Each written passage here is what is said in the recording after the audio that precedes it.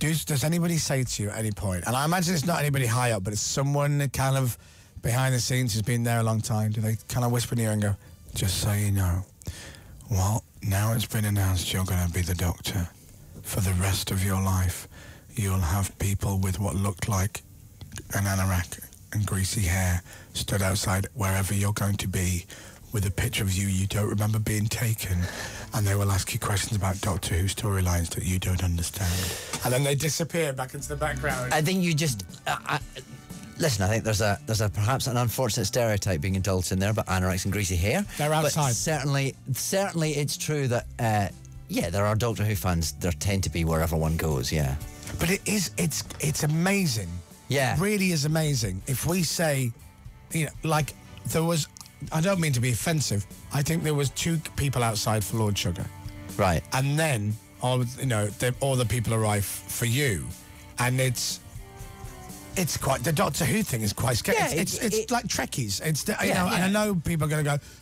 "Aren't You call us Trekkies, but you know what I mean. They're enthusiasts. It's aren't they? enthusiasm. That's Yeah. all it is. Yeah, and it's it's lovely to be hmm. part of that. Yeah. To be associated with that.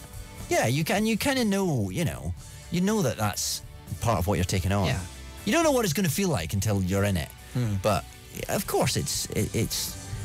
Listen, it's nice to be to be liked for something. Um, but you you're glad that you kind of decided to move on and and I think it was the right thing to do at the right time. Yeah, I mean, I could have stayed quite happily, but I, I think it was probably. I think if I'd stayed another year, then I would I would just have kept staying until. Well, I was about to say, out. do you look back now and go, do you know what? I'm actually quite impressed myself that I just went, yeah, I'm gonna, I'm, I'm done now. Thanks for, I'm gonna Hmm. move on. Um, Because as you get older, I think, and it's not that. How many years ago is it? it Four, was uh, ago? 2009. I finished filming it. Yeah, right.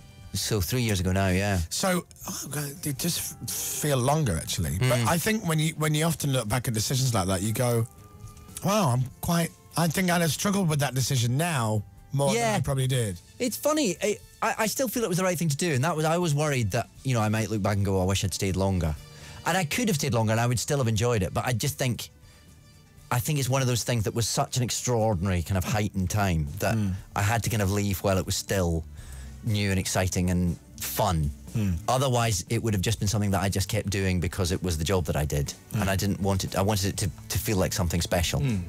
Do you ever see it? Do you ever catch Of course, yeah, yeah. I love it. I'm and a, ca- I'm a proper fan.